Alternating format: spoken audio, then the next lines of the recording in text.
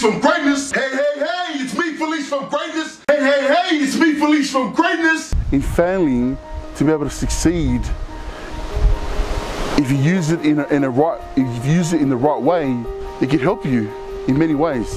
And what I mean by that is, what I've been able to do within these last couple couple of weeks, other than getting my mind set back into focus mode, clear, just vision vision vision vision I had to review what I did within the last six months so I was pumped I was excited to do what I wanted to do but the momentum of me pushing forward was lost because uh, the momentum didn't, didn't wasn't wasn't kicking forward and it wasn't building enough traction. So what I've learned is next three months that I push now, what I've got to do is I've got to put a system in place. I've got to put a system in place and I've got to I've got to forecast what I'm gonna what's gonna happen in the future and adjust my life to it. So for example, the first month it was good.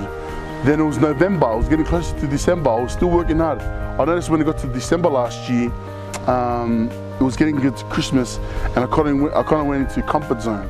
And then January, I just, I felt like I've just lost momentum. February, I was trying to get back on, on back on the horse. March, bang, I just got to make happen again. What I'm going to do for the next three months, there are two things that I want to focus on. I'm to forecast the meaning. I'm going to plan ahead. Within these next three months, I've got to make sure that this energy that I have now continues through the three months to the six months and throughout my life.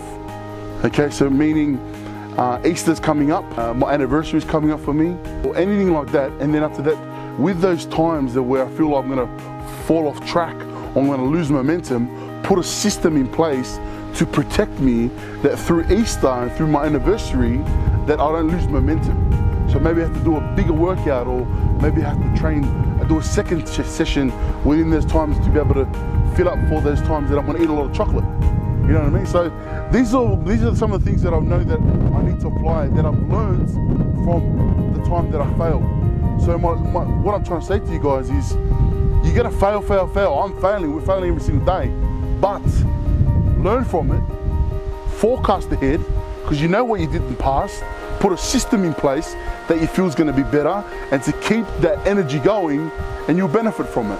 So very, very excited for that. I'm definitely to keep you guys in touch, keep you guys um, updated with my journey. Um, and I feel that this is to be something really, really good.